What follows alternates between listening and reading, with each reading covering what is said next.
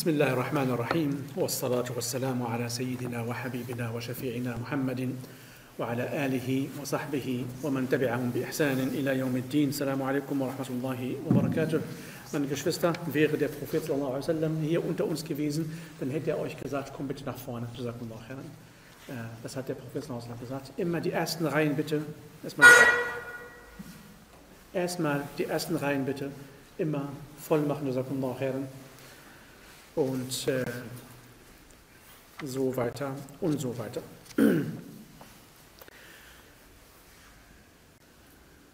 Bei jedem, bei jedem Vers im Koran gibt es immer zwei Optionen. Es gibt die Option Al-Zahira, ja, die klare, die man sieht, die oben ist, und es gibt Al-Batina. Ja, zum Beispiel Allah subhanahu wa ta'ala äh, sagt in dem Vers in Surat Al-Araf, wo alles verboten wird, wo er die Verbote aufgezählt hat. Und dann sagt er, und er hat euch Al-Fawahisha, Al-Fawahish, Al-Fawahish ist das Plural von Fahisha, Ma zahara minha wa ma batan, hat er euch verboten. Er hat euch beides verboten. Al-Fawahish, die Abscheulichkeiten, die zu sehen sind und die nicht zu sehen sind. Natürlich kann man diesen Vers erstmal oberflächlich übersetzen. Eine einfachere Übersetzung wäre folgendermaßen, Allah hat die Fawahish, die Abscheulichkeiten verboten, dass wir sie nicht machen dürfen. In der Öffentlichkeit, dass die Menschen uns sehen können, oder auch im Versteckten, wenn ich in meinem Zimmer ganz alleine bin. Beides ist verboten. Das ist eine Auslegung, die auch vollkommen in Ordnung ist. Die noch tiefsinnigere Auslegung ist folgendermaßen. Al-Fawahish, die Abscheulichkeiten, die man sehen kann, und die Abscheulichkeiten, die man nicht sehen kann. Warum? Weil sie in deinem Gehirn allein stattfinden. Ist das angekommen? Ja? Al-Fawahish, die können öffentlich sein, dass jeder sieht, aber sie können auch in dir drin stattfinden. Sieht keiner, dann sagt man, das kennt ihr, dann sagt man dir später, dem geht es doch gut. Ihm fehlt doch nichts. Er hat einen Job, hat eine Frau, hat Kinder, hat das, er hat eine Wohnung, hat ein Haus, was will er noch? Ja? Da läuft was im Hintergrund. Al-Batin, da läuft was im Hintergrund, was man nicht sieht. Und dementsprechend warnt uns Allah subhanahu wa ta'ala davor, dass wir auch darauf achten sollen, auf die Abscheulichkeiten, ganz allgemein gesagt, die im Hintergrund sind, die man nicht sieht. Ja, manche können das nicht sehen und manche äh, und manche können das nicht sehen, manche sehen es, aber die machen die Augen zu. Ich habe heute zwei schöne Verse uns ausgesucht aus dem Buch von Allah subhanahu wa ta'ala. Der erste Vers, Al-Ayah al-Ula, وَمَا يَخْدَعُونَ إِلَّا أَنفُسَهُمْ وَمَا يَشْعُرُونَ وَمَا يَخْدَعُونَ إِلَّا أَنفُسَهُمْ وَمَا يَشْعُرُونَ ما يشعرون باطل مسألة باطنية Sie betrügen nur sich selbst, aber sie merken es nicht. Damit beschäftigen wir uns nicht. Für uns ist der Betrug immer nach außen gerichtet. Und hier spricht Allah subhanahu wa ta'ala von einem versteckten Betrug. Batin. وما يخدعون إلا أنفسهم وما يشعرون أصعب أصعب شيء أصعب عمل also die, die schwierigste Handlung oder eine der, der schlimmsten Handlungen die du in deinem Leben machen kannst oder Situation, in der du leben kannst, ist, wenn du dich selbst betrügst und du weißt es nicht. Ist das nicht schlimm? Das ist, was Allah subhanahu wa ta'ala sagt. Er sagt, du betrügst dich selbst, aber du weißt es nicht. Ist das nicht schlimm? Wenn du andere betrügst, dann weißt du das, dass du sie betrügst, weil du das ja auch planst und machst und tust. Du kannst damit was? Aufhören, wenn du möchtest. Aber stell dir mal vor, du betrügst dich selbst. Und das weißt du nicht einmal. Schlimmer geht es nicht, finde ich, meiner Meinung nach. Eine der schlimmsten Handlungen, Situationen ist. Du bist dabei, dich immer zu betrügen, aber du weißt es nicht. Ja? Dein Leben ist was? Ist ein Betrug. Du lebst dein Leben, dein tägliches Leben, unter einem Regenschirm, nennen wir es mal so einen Regenschirm, des Betruges. Du läufst so, Betrug, Betrug, egal wo du hingehst. Du gehst zur Arbeit, du betrügst dich. Du kommst von der Arbeit, du betrügst dich. Du kommunizierst mit deiner Familie, du betrügst dich. Du stehst da, du betrügst dich. Du gehst einkaufen, du betrügst dich. Du isst selbst, du betrügst dich. Ja? Du bist in Beziehungen, die du nicht magst. Du betrügst dich. Versteht ihr mich? Versteht bitte immer mein, meine Hinter... Ja? تعيش في علاقات لا يجب البقاء فيها. Du lebst in Beziehungen, in denen du nicht bleiben darfst. Freundschaften, die dir schaden. Du stehst morgens auf und du gehst in einem Büro zu einer bestimmten Arbeit, die du nicht magst, kannst du nicht ertragen. Das nimmt dir die Luft weg. Du betrügst dich aber und gehst dahin. تقول كلاما وداخلك يحتج على هذا الكلام Du sagst etwas, was aus deinem Inneren kommt, du sagst etwas nach außen und dein Inneres sagt, warum sagst du das? Du Betrüger, du betrügst uns gerade hier. Versteht ihr mich, wie tiefsinnig dieser Vers ist? داخلك يحتج على كل كلمة تقولها.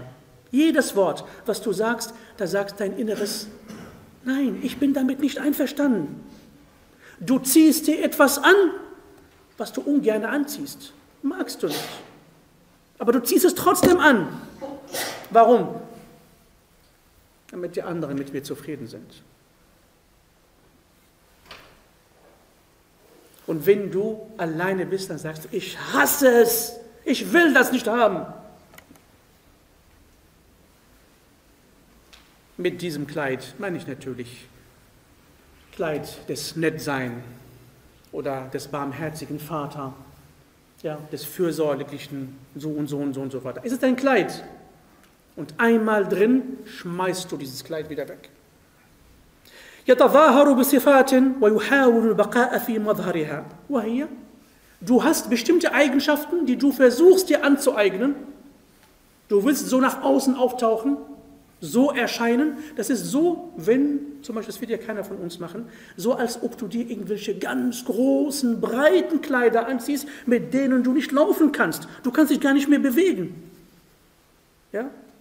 Du versuchst nur deine Farben zu ändern. Ja? Damit du als eine andere Person erscheinst. Weil du dein wirkliches Gesicht verstecken möchtest. Dann ziehst du dir irgendwas an. So breit wie möglich, so versteckt wie möglich. Du bist dabei, mein lieber Bruder, meine liebe Schwester, du bist dabei, dich selbst zu betrügen.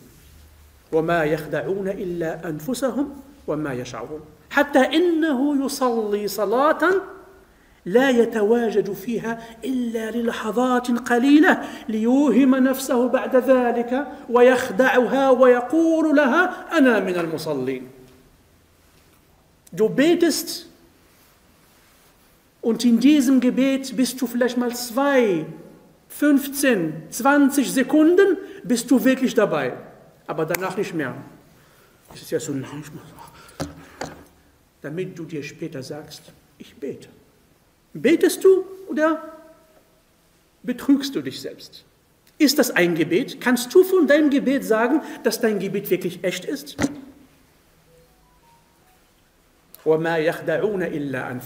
Allah subhanahu wa ta'ala kannst du nicht betrügen.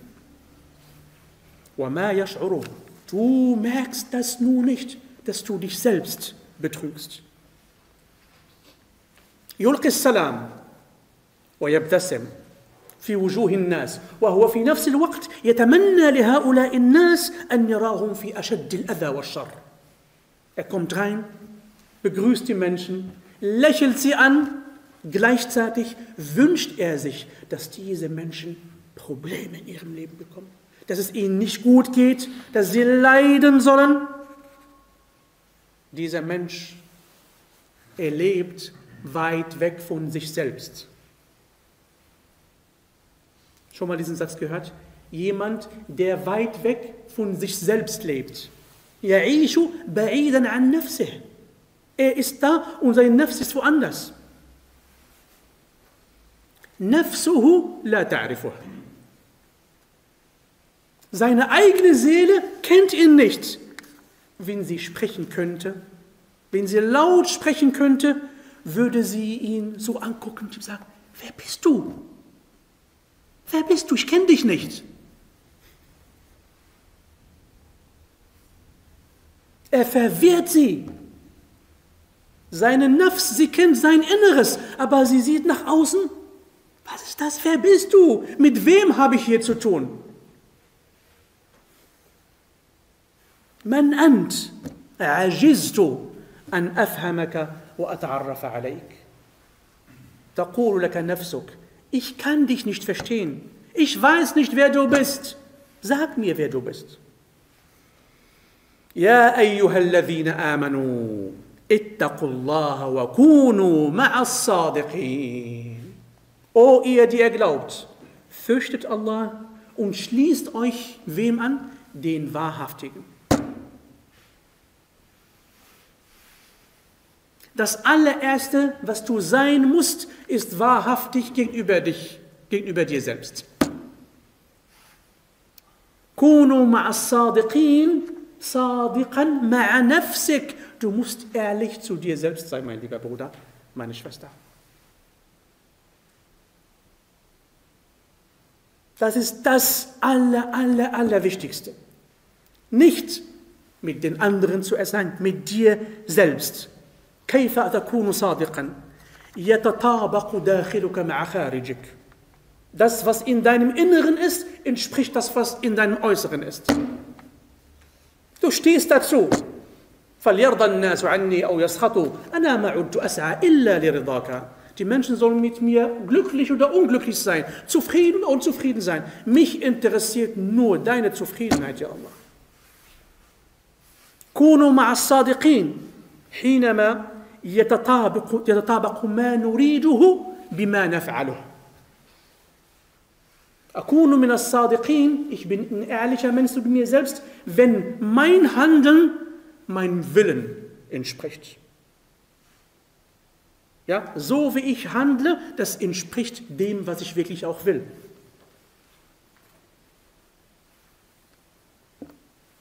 أكون من الصادقين عندما يتطابق ما تشعر به مع ما تقوله.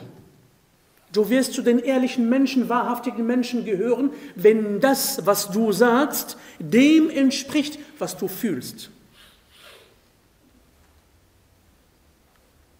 Manchmal nennen wir die Sachen nicht bei Namen. Wir geben bestimmten Situationen und Handlungen einen anderen Namen und betrügen uns dementsprechend. Es kommt Du kannst vielleicht fast zu jedem Moslem oder Muslima kommen. Er ist krank, ihm geht es nicht gut. Er hat Schwierigkeiten, er ist unzufrieden, er ist traurig. Wie geht's dir? Was hörst du immer? Alhamdulillah.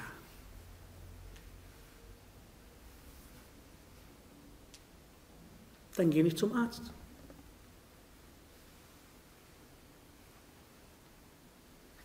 dann geh nicht essen, wenn du dankbar bist für das, für diesen Mangel, in dem du gerade bist. Dann beweg dich nicht, dann zieh dich nicht warm an. Allah subhanahu wa ta'ala sagt im Koran, إن المنافقين كانوا في الدرك الأسفل من النار. Wo sind die Munafiqin? Die Heuchler, wo sind sie? In der untersten Stufe, nicht von Jahannam, min an-Nar. Allah subhanahu wa ta'ala im Koran ist sehr spezifisch. Wir sind nicht spezifisch, aber er subhanahu wa ta'ala im Koran ist sehr spezifisch. Er weiß ganz genau, wann er das Wort An-Nar benutzt und wann er das Wort Jahannam benutzt. Das sind zwei unterschiedliche Welten. Immer wenn du an Nar hörst, dann geht es um hier in diesem Leben. Ja? An-Nar ist in diesem Leben. Du hörst manchmal Menschen, die einfach mal so sprechen und sagen, ich brenne von innen. Kennt ihr das? Also auf Arabisch, Nar, Nar. Vielleicht bist du einer, der dich, dich selbst betrügt. Dir geht's nicht gut, dann sag, mir geht's nicht gut. Weil dein Inneres sagt, was ist los mit diesem Menschen? Dem geht's nicht gut und er sagt den Menschen, Alhamdulillah. Stell dir mal vor, du gehst zum Arzt, wie geht's dir? Mir geht's gut. Und du sagst ihm nicht deine Probleme. Wie kann er dir helfen? Wenn du diese Sache machst, einmal, zweimal, dreimal, viermal, fünfmal, sechsmal, bis es zu einer Ader bei dir in deinem Leben wird. Es ist eine Ader geworden. Ja? Das wird zu einer Gewohnheit. Ja? Dein Inneres wird es irgendwann mal aufgeben und sagen, dem geht es gut, wenn er leidet. Und dein Inneres wird immer unzufrieden sein, wenn es dir gut geht, richtig. Versteht ihr mich? In der Psychologie spricht man hier von, von der Punkt-Punkt-Zone, Komfortzone. Man spricht hier von, von der Komfortzone. Eine Komfortzone ist nicht immer positiv. Eine Komfortzone ist negativ.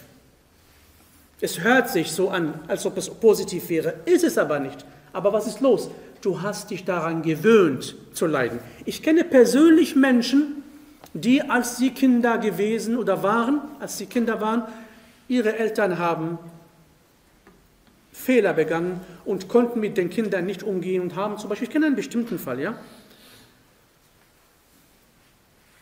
Die Mutter hat sich mit, ist mit dem Kind nicht gut umgegangen.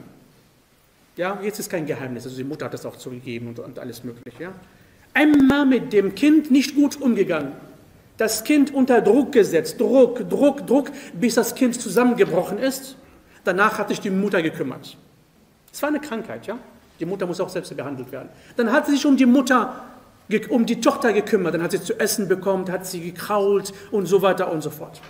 Mit der Zeit ist das eine Gewohnheit geworden bei dieser Person. Was ist passiert? Okay, sie ist jetzt groß geworden, ja, also eine starke Person und alles Mögliche. Was macht diese Person jetzt in ihrem Leben? Egal, wo sie hingeht. Sie möchte, sie braucht es, dass der Chef sie fertig macht. Habt ihr mich verstanden? Der Chef muss sie fertig machen, damit sie was, weil erst geht sie erst gut, wenn sie fertig gemacht worden ist. Habt ihr mich verstanden? Und das ist was? Ihre Komfortzone. Ihre Komfortzone ist, sie muss fertig gemacht werden, damit sie denkt, jetzt geht es mir gut, ich bin fertig gemacht worden. Im Inneren, das ist Also wer sowas hier nicht ernst nimmt und darauf nicht achtet, kann, ja, natürlich, أعلم أن البعض سوف يقول لي, يقول لي من الصعب أن نظهر ما بداخلنا. Es ist schwer, das, was in unserem Inneren zu zeigen. Ja, und dass wir über unsere Gefühle sprechen. بصدق, mit Wahrheit, voller Wahrheit. هناك أشياء من الصعب an Tadhara Belchari. Es gibt Sachen, die sind schwierig, das kann man nicht nach außen zeigen. Meine Antwort an diese Geschwister. Ja, es ist einfach. Mach dein Inneres schön. Das, was in deinem Inneren, mach es schön. Wenn du schön gemacht hast, dann wird das nach außen auch strahlen. Ja, dann hast du keine Probleme mehr. Wenn es schwierig ist, ja, dann sorg dafür, dass dein Inneres schön ist. Dann kannst du es auch zeigen.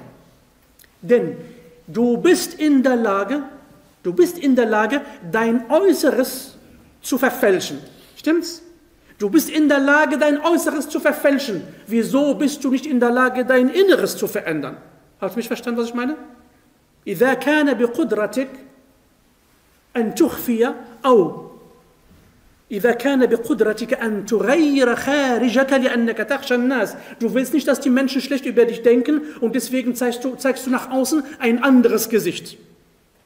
Ja, es kostet ja sehr viel Kraft, wisst ihr das? Es kostet sehr viel Kraft, die Menschen zu betrügen und nach außen ein anderes Gesicht zu zeigen. Ist sehr, sehr, sehr, sehr schwierig. Viel einfacher ist es, dein Inneres zu verändern. Das ist viel einfacher. Also wer nach außen ein Bild abgeben kann, der kann es nach innen. Viel einfacher. Du hast es nur nicht verstanden. Ja, Ij'al dakhilika jamilan. Sorg dafür, dass dein Inneres schön ist. Mir geht es nicht gut, mir geht es nicht gut. Ist okay, dass es dir nicht gut geht. Dann kann man gemeinsam nach Lösungen suchen.